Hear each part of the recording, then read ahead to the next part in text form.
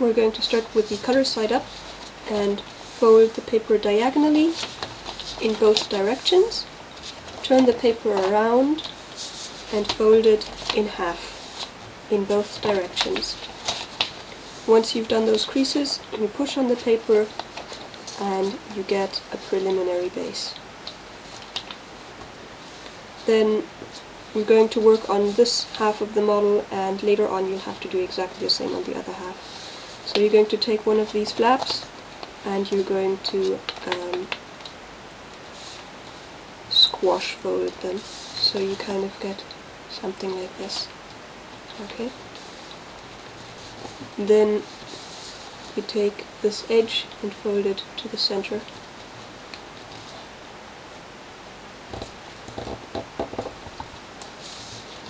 Like so. And then connecting this point and that point, you're going to do a mountain fold here. So you've got this point and you've got that point and you're doing a mountain fold connecting those two.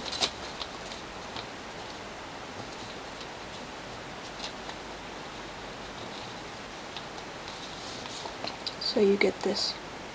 Then you're going to do an angle bisector on this side. Just bring this one over to the other side and crease it a bit. And then you're going to fold this back, but you're going to fold the angle bisector you just folded. And on here, you're naturally going to get another angle bisector. So you can see this is what you get. And then we do this on the other side.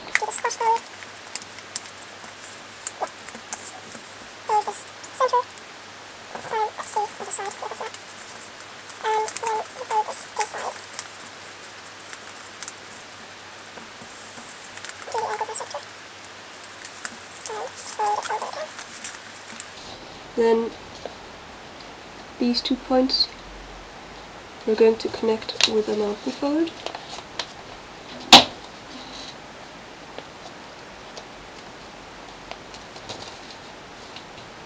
And then we've got this point and that point and this point and all of those three you're going to bring up there to the to the um, top of the model. So bringing these two points right up there, this one is going to be raised too. So you've kind of got a flap there. Press that down. Then if you fold this to one side, you want to do an inside reverse fold here on this triangle.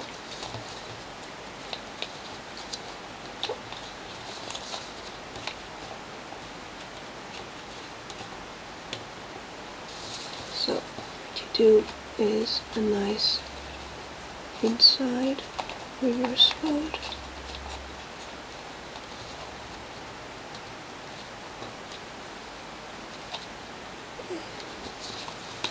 So this is what you get. And that flap is still here, right? Now we turn the model around and we do the same thing as before.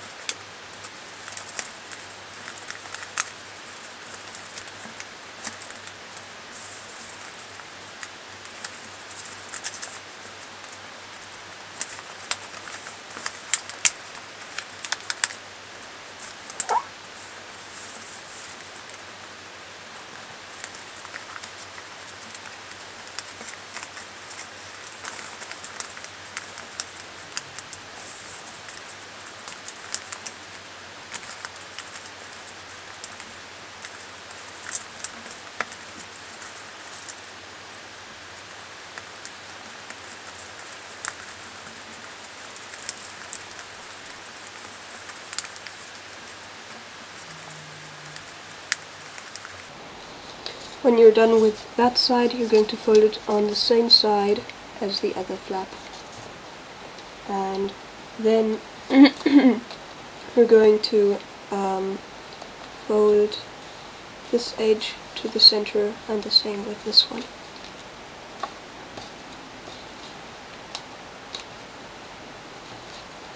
Like so.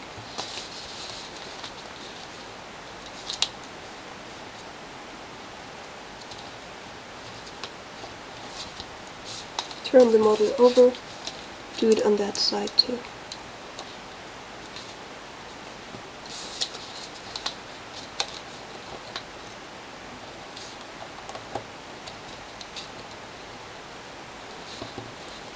Then you've got these flaps down here.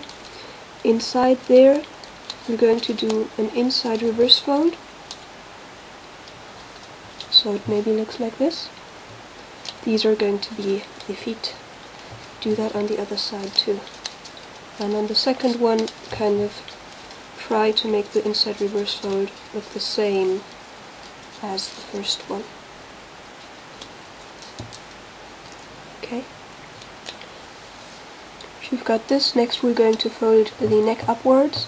Going to do um, mountain folds here and then valley folds like along the spit. So this is are the mountain folds and here you do valley folds and then it sticks up like that. And the bottom I'm going to open in the bottom and fold upwards in an outside reverse fold so it matches up with the other one. You kind of wrap it around the other one and then down there just push the model together. Okay. Next you're going to um, this neck going to do a reverse fold. This is going to be the head. Okay, so then here you're going to do a mountain fold and then a valley fold, basically a crimp fold, right next to each other. You get something like that. And then we can actually finish this up already. Open this a bit. Got like folds in there that you can open up. And the top might want to point down a bit. Okay. Then um, these legs down here are a bit too thick. Let's just do mountain folds. Okay. Just fold them a bit. Then you're going to fold these wings forward as far as they go, both sides. And then in an angle going to fold them back. Maybe like so. See, that's the angle I chose. Just fold it back. Other side, same angle. And then down here, fold the feet.